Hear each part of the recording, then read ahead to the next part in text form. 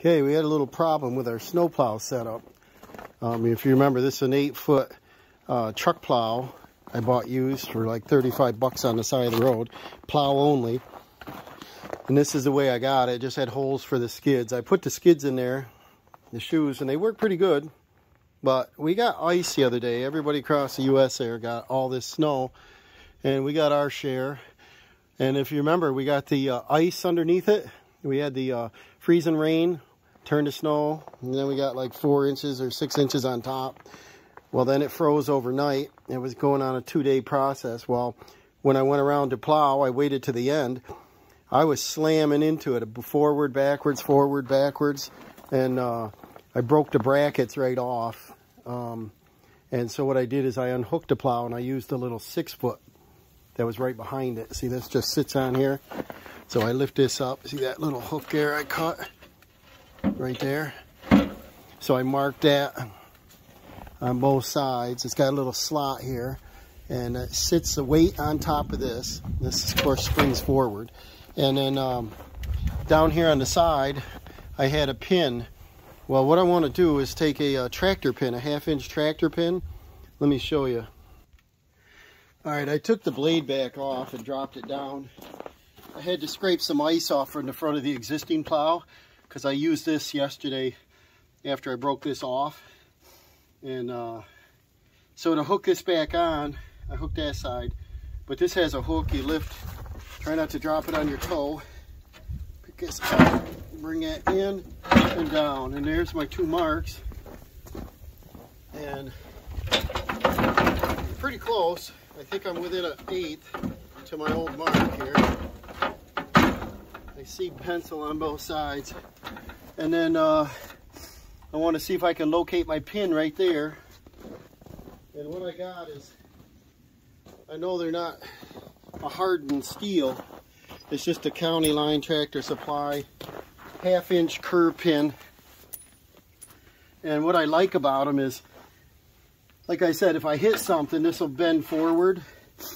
And I don't really want this so rigid that if I slam into something like a little stump on the edge of the driveway or something that it either does damage back this way on the tractor or throw me through the window.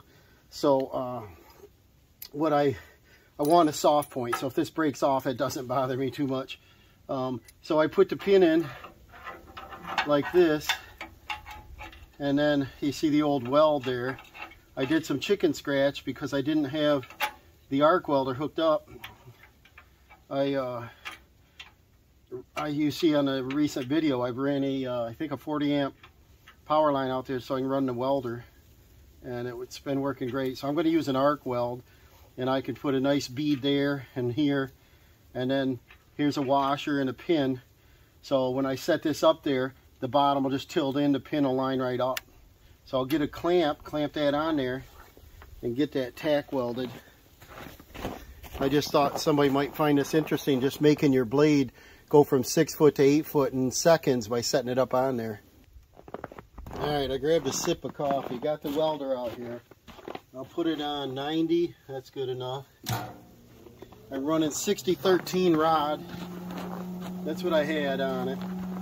That's what I'll use. And then uh, kind of want to get some 6011. What I want to do is I put some vice grips on there.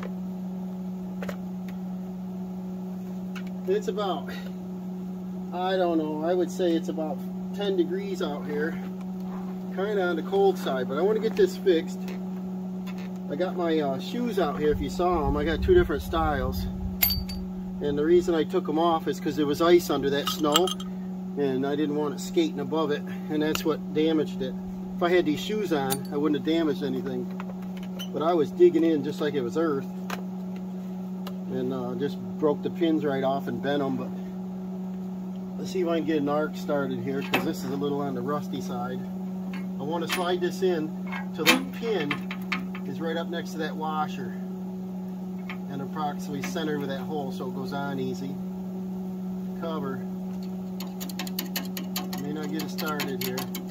Yeah, I got a better ground.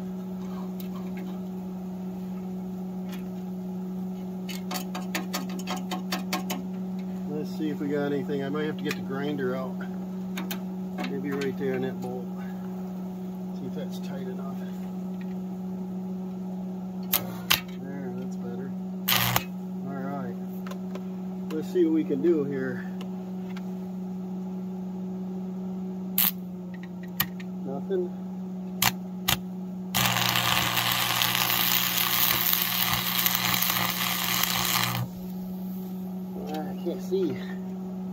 Of the sun out here is awful bright. I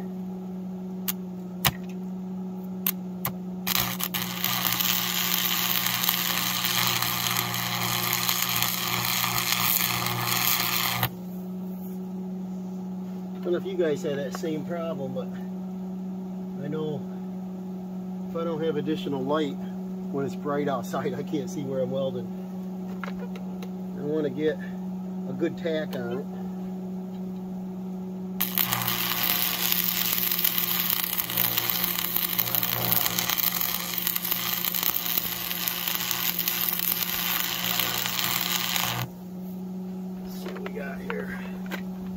That's pretty good. And I'm just going to go around and get that cleaned up better. I'll get a good strong weld on that. My excuse is I'm pretty good with it, I think, if I can see. But I should bring out like a clamp light. Because, you know, with the shield being a little dark, I can't see where I am at a lot of times.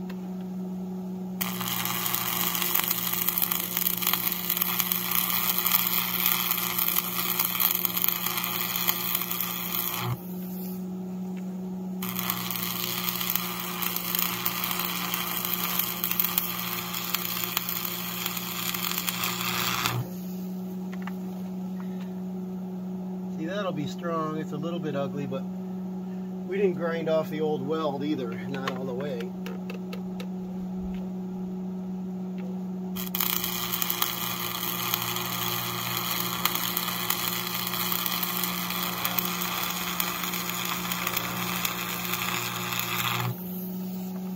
I use the rod right up to nothing. Rods are so expensive anymore, everything is. Give me another one here. I think that's going to be a good strong hold though.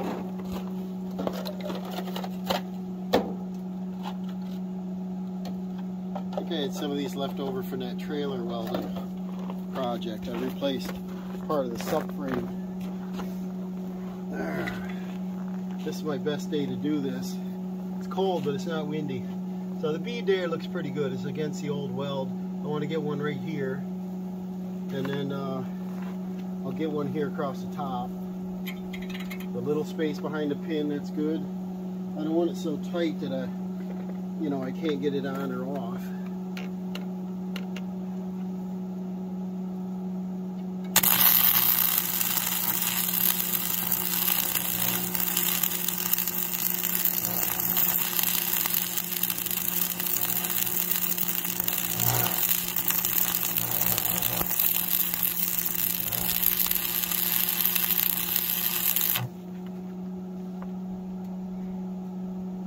that's not pretty, but it's actually pretty good. I tap off the slag. That's pretty good weld.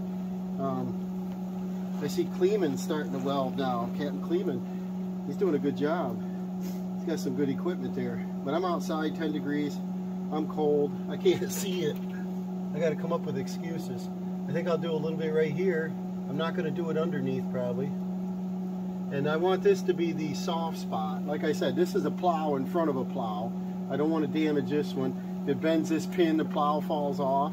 Kind of what it did down there at the end of the drive. I don't care. You know, I just do this again. $2 pin. Get a little bit here.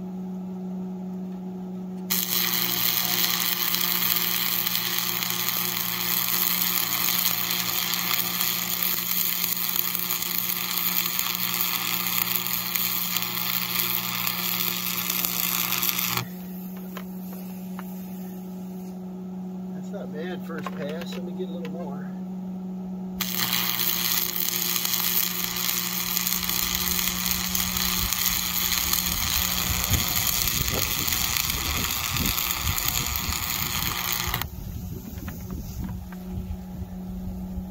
And usually if you do like a, a push on it in a slight circle, you get a pretty good penetration on it. And this whole side here is ugly because that's the old well. That new one, whoop, that new one right there, that's pretty good. That top one looks really good. I'd say that's that's darn near done right now. I think I'll uh, use up the rest of this rod piece here. Call it quits on this side. And we'll do the same on the other so I can get using it again.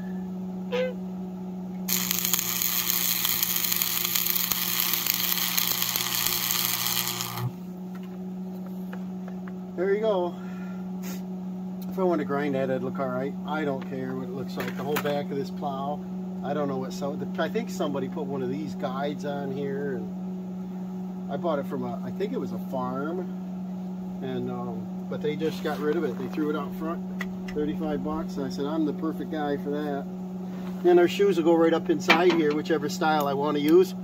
But until I get all this ice scraped down, I don't want to put them on yet. So you get the general idea. I'm going to go over and do the same on the other side. Yeah, my fingers are getting numb. Um, have a little more sip of my coffee before it's frozen here. I just want to get it done today. okay. Tell me in the comments what you guys think of this idea. Um, this blade six feet wide is awful small for this tractor. And um, the factory eight foot, or the A factory eight foot would be pretty expensive, I would assume, if they were available but I got like very little money in this. So I bought this pin, washer slides up, slide this in. I'm, I'm welded to the plow, which is pretty heavy, and this is quarter inch steel backer on it. Slide this in, bring that into touch, and that's it, you know.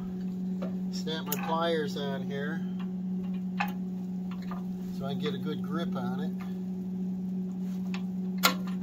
line it up in the center of the hole pretty good so it'll go back on.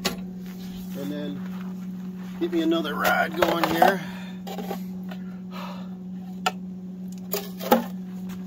I can't wait to go in and warm up.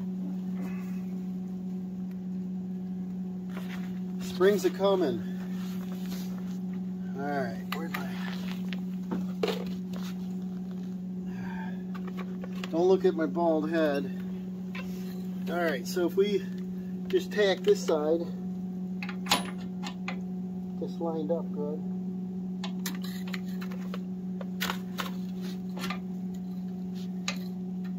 Get that halfway straight. Cover.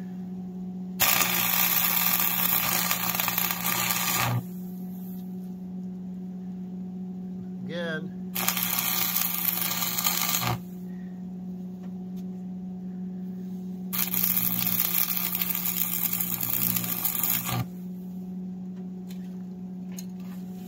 I guess I'm just going to go for it here. Instead of just trying to tack it with my eyes closed. All right.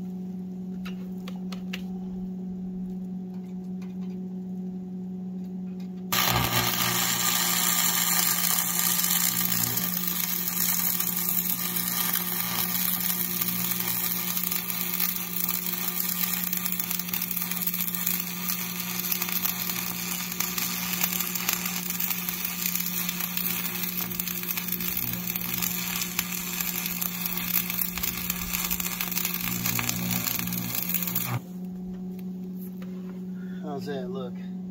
Oh, I went past it a little bit, but that looks all right.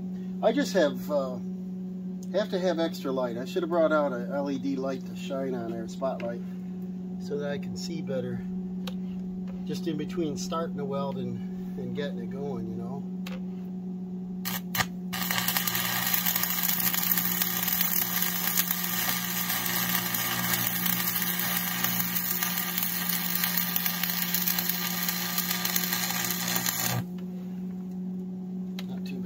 Pretty good penetration on that. I burn these rods right down to nothing. 6013. Probably should have 6011, bump the heat up 120 or something, but this will work.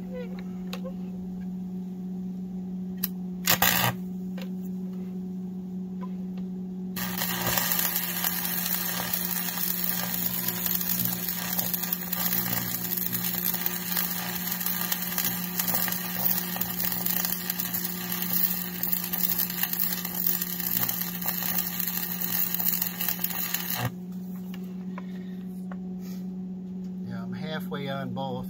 That's a nice looking puddle there. This one is, is a little bit that's good. I'll get a little on the front edge of the blade here.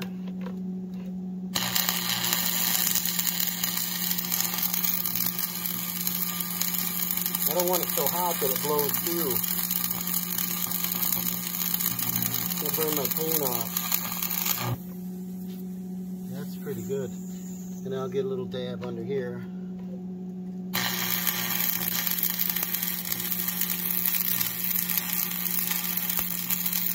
Can try to do a little bit of a circle and push it, it kind of pushes the slag out of your way. that's what you want to call it. Throw my piece out of the driveway. That little bubble there that I can grind off or tap off, but that's going to be on there.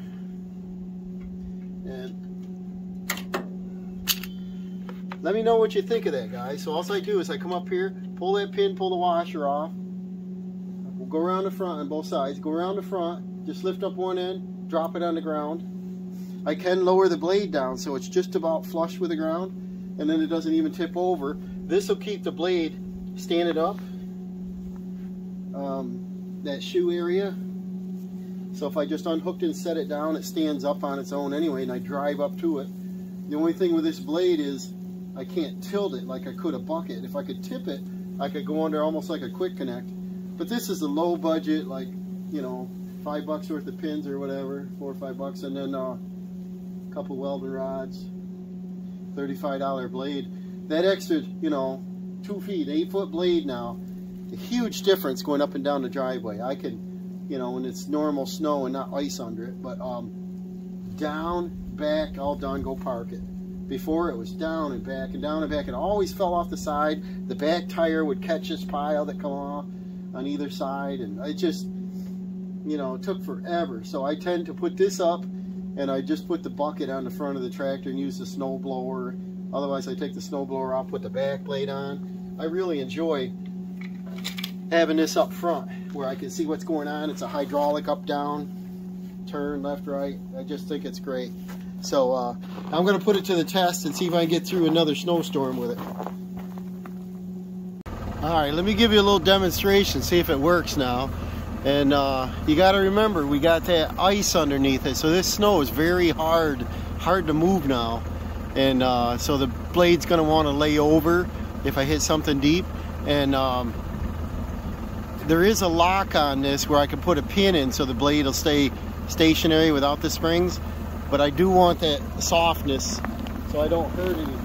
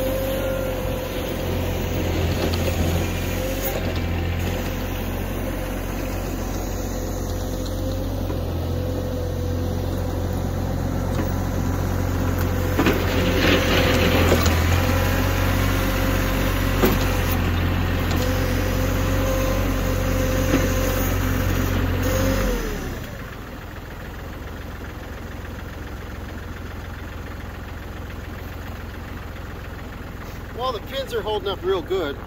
And this is, like I said, this is a different kind of snow than we normally have. Usually we get snow or rain. This time we got ice underneath it. You can see the chunks under here. Look at this, this has a whole one whole piece here. It's very hard to plow. And uh, having these springs on here allows this to go right over. And right there I can put a bolt in it, pin in it, and it'll lock it up. But I don't want to break them pins off. So I think what I'll do, I'll just be careful and I'll finish the rest of this up tomorrow. I'm cold. It'll be a little bit warmer tomorrow, a couple degrees. And uh, if you like the content, remember to subscribe and uh, we'll show you another video. We'll, we'll talk to you soon.